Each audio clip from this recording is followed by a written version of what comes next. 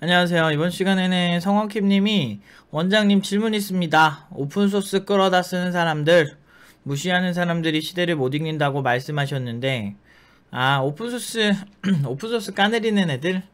그 팀노바 애들 오픈소스 덕지덕지 붙여가지고 막 대충 만든다고 욕하는 사람들? 어, 그런 사람 있어가지고 제가, 어, 팩폭으로 두드려 팼죠. 아니, 팩폭을 떠나서 그냥 사실인 걸 어떻게 어, 그 오픈 소스를 막 끌어다 붙인다고 막 비하를 하는 거야.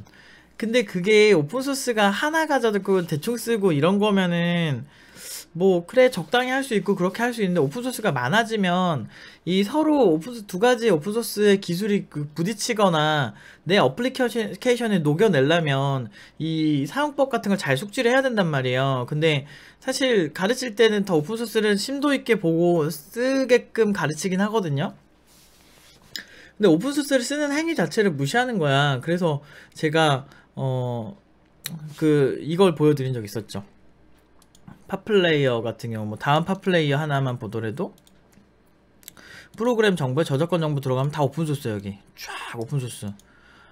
카카오잖아요 카카오. 여러분 좋아하시는 카카오. 카카오도 그러고 네이버도 그래요. 네이버도 그러고. 다 그래. 그러니까 자기네들이 쓰는 오픈소스는 착한 오픈소스야. 그러면서 그렇게 욕하는 사람들이 오픈소스 안 쓰는 것도 아니고 그리고 오픈소스 안 쓰고 진짜 막그 간의 수공업으로 막 다 하려는 사람들이 있어요. 있긴 있어. 주로 이제 C 개발자들 중에서 그런 경우를 많이 봤는데 일하다가 그런 애들 치고 회사에서 좋은 평가 받는 경우 별로 없어요. 그러니까 진짜 회사에서 중요한 코어 라이브러리를 직접 만드는 거는 완전 멋있는 거죠. 그런데 저거 굳이 저걸 저 사람이 저렇게 만들어 써야 돼? 싶은 것들이 있거든요. 이미 훌륭한 오픈 소스가 있는데 그걸 자기가 만드는 거야. 근데 그런 사람들 특징이 뭐냐면 진짜 잘하면 모르겠는데 어 오히려 오픈소스 같은 경우는 장점이 오랜 역사를 통해서 그것만 작업하는 사람들이 모여가지고 오랜 역사가 쌓여서 이제 디버깅이나 여러 가지 testing이 굉장히 잘 돼 있어요. 그래서 어 그 버그 확률이 그 stable한 stable한 버 stable한 버전을 받으면 버그가 상당히 적은 경우가 많거든요. 근데 직접 자기 혼자 만들어 자기 혼자 테스트하는 라이브러리가 얼마나 그 괜찮겠어. 그래서 그런 경우가 종종 있죠. 그래서 진짜 웃겨요. 지금 제가 크롬에 대해서도 보여드릴까요? 크롬에도 오픈소스 이렇게 있거든요. 크로미움 오픈소스 프로젝트 비롯, 한 여러 오픈소스 소프트웨어 기초에 만들어진 브라우저입니다. 라고 구글에서 말하고 있죠. 크로미움 프로젝트 자체도 한번 관심 있으시면 보셔도 좋을 것 같고 오픈소스 소프트웨어의 기초에 이어져 만드는 브라우저입니다. 라면서 크롬에서 사용한 오, 아, 그 오픈소스 자체를 엄청나게 많이 표기하고 있죠. 존나 많아요, 이거. 이거 다 구글에서 만든 거 아니에요. 근데 구글에서 쓰면 착한 오픈소스인가? 제가 IT 업계에서 그렇게 많이 욕을 먹어가면서 아니 잘못한 게 없는데도 욕을 진짜 많이 먹었거든? 어 잘못한 게 없.. 아 그냥 내가 싫은 거잖아. 그러니까 나라는 사람의 태도가 싫은 거는 어쩔 수 없어요. 날 싫어하는 건 상관없어요 사실. 근데 이제 없는 말 만들어서 욕하는 사람들은 좀 그렇죠. 막 이렇게 저기 학생들이 학생들이 만드는 거는 되게 가치가 낮다. 막 이런 식으로 욕을 하길래 제가 어 저런 걸 보여줬죠. 그냥 저런 거 보여주면 그 영상에 어 크롬이 쓰는 오픈소스는 착한 오픈소스고 니네가 쓰는 오픈소스는 나쁜 오픈소스다 라고 말하는 사람 단 한 명도 없었고 뭐 그렇게 논리적으로 반박하는 사람 없어요. 왜냐면 사실 무지에서 나오는 용감함? 막 사실 그런 게 일상에서도 워낙 많이 일어나기 때문에 어... 어이없는 거죠. 근데 그런 말 하는 사람들 커뮤니티 글을 찾아보면 글쎄요 그렇게 훌륭한 개발자는 아니었어요 제 기준에 그러니까 대부분은 무지하면 용감하다 그러죠. 그래서 제가 저거를 이제 깠는데 이제 뒤에 읽어볼게요. 전공과제 같은 거 할 때 라이브러리 절대 못 쓰게 하시는 교수님들에 대해서 어떻게 생각하는지 여쭤보겠습니다. 라는 건데 이게 이게 두 가지 측면이 있어요. 한 가지 측면은 어 그러니까 이제 교육자 입장에서 코어 자체를 공부시킬 때 라이브러리를 안 쓰게 안 쓰고 직접 라이브러리를 만들어서 쓰게 하는 게 나쁘지 않을 수는 있어요. 공부하는 학생 측면에서. 그런데 그거를 고지고대로 주장하시고 고집을 피우는 교수님이라면 어 별로예요. 음. 왜냐면 실제 실무에서 아까 크롬이나 이제 다음 카카오나 네이버나 어, 느 기업을 말하셔도 좀 규모가 있는 기업이라면 저는 오픈소스 내역을 다 끄집어낼 수 있어요. 왜냐면 그게 라이선스라는 게 고시를 해야 되거든요. 그래서 여기 도움말에 있을라나 파이어폭스 정보 보면 파이어폭스에서도 라이어 라이센스 정보가 이렇게 표기가 돼 있습니다. 그래서 다 오픈 소스죠. 오픈소스를 안 쓰고 쓸 수가 없어요. 지금 여기 있는 라이센스는 제가 옛날에 개발자의 패러다임이라는 주제로 얘기를 한 적이 있어요. 제가 제안하는 개발자 패러다임이라 그래서 이제 1차 생산자와 2차 생산자, 3차 생산자로 나눠야 된다. 라고 해서 이런 오픈소스를 직접 만드는 분들은 1차 생산자 요런 것들이 유기적으로 모여서 파이어폭스가 완성이 되는 겁니다 여긴 jQuery도 사용됐고 어 이런, 이런 zip을 푸는 것도 이런 라이브러리도 있고 뭐 구글에서 그 사용한 라이센스들도 있고 구글 기업 관련된 것도 있고 웹브라우저가 오픈소스의 거의 막 집약체 같은 거거든요 그래서 이런 걸 조금이라도 아는 사람이라면은 저한테 그렇게 말 못하죠. 근데 뭐, 뭐 하루 이틀이어야지 이런 게. 저는 현업에서도 이런 경우 많아요. 현업에서 바로 앞에다 이렇게 딱 보여주면서 얘기하면은 부글부글 하던데 그런 사람들.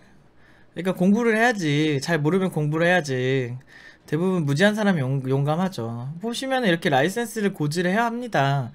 그럼 이거 안 하면은 불법이라서 나중에 그 뭐지 고소 고소미 뚜까 맞아요 그러면은 그 라이선스 저거 위반하면은 예전에 그 오라클사에서 구글 문제 생겼을 때 구글이 배상 되게 크게 했잖아요. 어쨌든 그런 거죠. 음. 어쨌든 그 교수들이 근데 저렇게 하는 이유가 좀 있어요. 왜냐면은 교수들은 사람이 인간이 얼마나 무지하냐면 자기가 살아온 인생이 베스트라고 생각하는 사람이 진짜 많아요. 무지할수록. 이건 지식인도 마찬가지예요. 그래서 진짜 훌륭한 교수님들도 있을걸? 저는 개인적으로 교육자로서 훌륭한 교수님은 거의 못 본 것 같아요. 어, 제가 경험한 교수님들은 글쎄요, 다 최악이었어. 저제 입장에서는. 어, 어, 난 보였어 내 눈에는 그 사람이 너무 현실에 안주하는. 근데 이제 전공생들이 다 애들이 초보고 그러니까 적당히 가르쳐도 이렇게 클레임 잘 안 걸거든요. 근데 저는 그 당시 현업 개발자였기 때문에 저 교수가 양아치인지 아닌지를 내가 알 수가 있었어. 저 새끼 뭐야? 막 이럴 때 좀 되게 많아요, 사실. 누구 어떤 교수라고 말하면 명예훼손되니까 말은 못 하겠는데 아, 너무 심각한 경우가 많아요. 생각보다 교수들이 교육에 관심이 없는 것 같아, 나는. 내가 경험한 교수들이 더 그런가? 난 근데 교수 한두 명 접한 거 아닙니다. 그리고 이 얘기를 전공생들과 얘기를 해도, 어, 그런 얘기 굉장히 많이 해요. 그래서 제가 5년 동안 하고 저처럼 성격 들었고 저처럼 저처럼 막 직설적이고 학생들한테도 바로 야 이거 최악이야 이거 다시 해 뭐 이렇게 하는 저처럼 이런 성격에 상처 안 받는 사람이 없었겠지만 그래도 제 진심을 다 알아주더라고요. 왜냐면 진짜 나는 그 친구가 너무 걱정이 되거든. 그렇게 하니까 사실 저를 저격해서 쓴 글은 없어요. 지금까지 5년 동안. 어 오히려 기계관 팀장이 기계관 팀장이 말 심했다고 이렇게 욕한 경우 있었는데 어 저는 없었어요. 다른 파트장들도 없었 없었구나. 저는 생각보다 제가 막 막말하는 것 치고는 사람들이 저를 좋아해주는 편이거든요. 특히나 팀원들이 저를 되게 좋아해줘요. 제 진심을 알아주는 거죠. 그래서 저 수료자들한테 항상 고마운데 어... 어쨌든 다시 본론 돌아가서 교수들이 배우는 환경이 보통은 그렇게 좋지 않아서 그래요. 제 생각은. 왜냐면 석박사를 한다는 건요. 어, 우리가 이제 옷을 만드는 사람이라고 한다면 애플리케, 어플리케이션을 만든다는 사람이 주로 이제 석박사에서 하는 논문들의 종류를 보면 왜냐면 교수 되려면 석박사를 주로 따니까.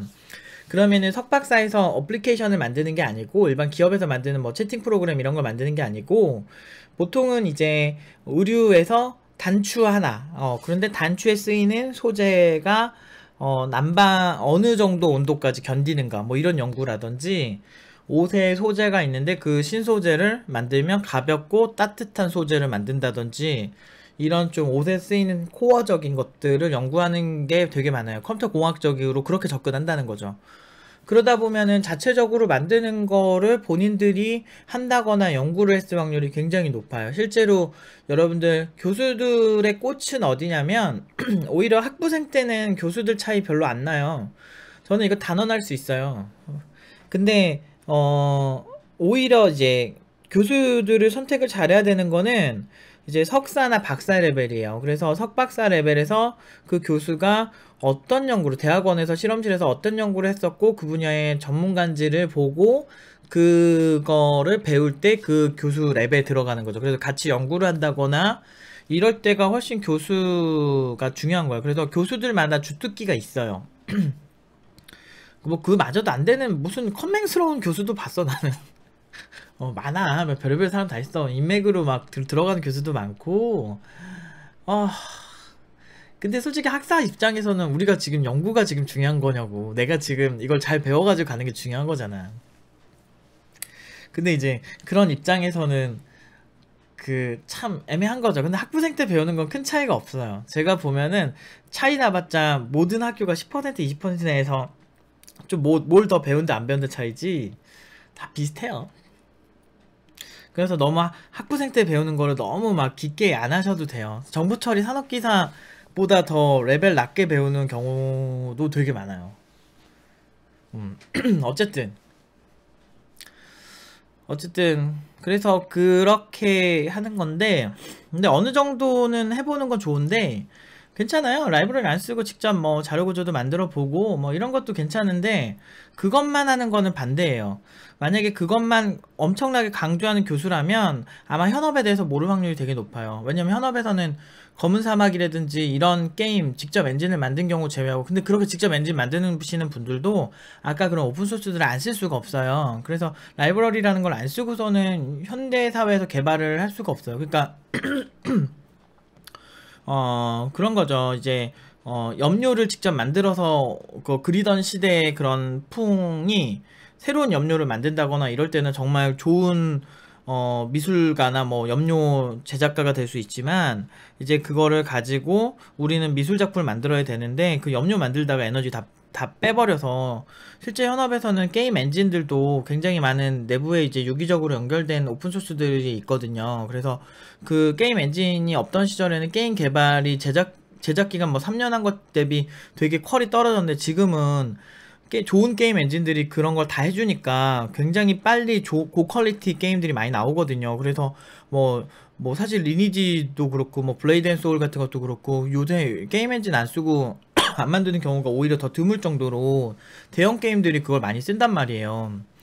그래서 그런 걸 봤을 때 요새 그 교수, 그러니까 대학에서 배우는 거랑은 현업이랑은 좀 니즈가 좀 다르죠. 대학은 순수한 학문적 탐구적인 성향이나 그 코어적인 거를 되게 신경 많이 쓰려고 하는 것 같고 실무에서는 실제 나온 아웃풋 이런 거 좋아하는 것 같은데 근데 더 웃긴 게 뭐냐면 어, 팀노와 팀원들 중에서 이제 그게 되게 시간이 많이 남은 친구들이 있어요. 그러니까 1학년 때 여기 와가지고 한 2학년 때 졸업하고 한 2년 정도 공부하는데 3년 전 3년 정도 공부하는 이런 학생들이 있거든요.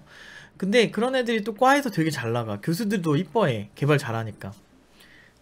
그러니까 되게 웃겨요. 그러니까 본인들이 양성해내진 못했는데 대부분 10명이 그러면은 거의 10명 가까이가 학교에 학교에서 그래도 꽤 꽤 개발 잘한다고 소문이 나요. 어, 팀노바 졸업생들은. 그래서 실제로 제 저한테 많이 혼나던 친구가 있어요. 내가 너는 왜 그러냐 이러면서 내가 막 막 이렇게 지랄 발광을 했을 때거든. 뭐야 도대체 왜 이런 거 왜 안 해오는 거야? 막 이러면서 막 지랄하고 막 이럴 때가 있었거든요. 학생들한테 지랄 많이 해요. 근데 어 그러면서 했던 친구가 있었어. 근데 얘는 진짜 많이 혼났어야 돼. 그 걔가 있는데 그 친구가 이제 학교에 갔는데 학교에서는 꽤 잘하는 애로 소문이 난 거예요. 걔가 그래서 학 학사 레벨에서 랩에 들어갔다는 거야. 그래가지고 네가 랩에 들어갔다고 내가 그랬지. 보통 학사는 랩에 안 껴주잖아요. 실험실에 잘 안 껴주는데 어 걔는 잘한다고 해가지고 거기서 이더리움 이더리움이 아니고 뭐지 이오스인가 그걸로 뭐 뭐 그 연구 프로젝트 했다 그러더라고요. 블록체인으로. 어쨌든 사랑 많이 받죠. 음. 그러니까 교수들이 좀 그래요. 그러니까 자기가 해온 배경으로 학생을 가르치는 경향이 있고 어, 학생들은 그거에 대해서 굉장히 까다롭지 않으니까 교수님, 우리 교수님, 우리 학, 우리 교수님, 어떤 어, 아이비리그에서 오신 교수님, 대단하신 교수님의 그런 가르침을 보통 거역하지 않죠. 그런 경우 되게 많아요. 음. 어쨌든 이거는 여기까지 하고 그래서 이제 어쨌든 본인이 생각을 좀 잘 하셔야 돼요. 그러니까 어 내가 내가 정말 연구자가 된다면은 그렇게 코어적으로 접근하는 게 나쁘진 않을 수 있어요. 어 나쁘진 않을 수 있는데 그렇다고 해서 아예 저렇게만 하면 안 돼요. 왜냐면은 구글에 오는 많은 개발자들 중에 저는 오픈소스 그러니까 구글에 있는 개발자들이 다 학부생일 거라 학사 출신이라 생각하시면 안 돼요. 저런 오픈소스를 선정하는 것도 박사나 석사들도 할 수 있거든요. 충분히 어, 이런 퍼포먼스에 대한 실험도 있고 굉장히 많이 어, 네, 테스트도 많이 하고 그러는데 요- 구글에 석박사들 많아요. 그럼에도 불구하고 제품은 저렇게 오픈소스로 나온다는 거죠. 오픈소스가 유기적으로 연결되어서 이 얘기가 시사하는 바는 실제 실용주의적인 개발, 실제 시장이냐, 아니면 내가 연구자냐, 어, 이런 거에 따라서 그 교수의 스타일이 맞을 수도 있고 틀릴 수도 있어요. 하지만 우리는 대부분 기업에 간다는 거. 그런, 그런 측면에서, 어, 저런 방식만 고집하는 교수라면 그 교수는 제 생각으로는 훌륭하진 않습니다. 음.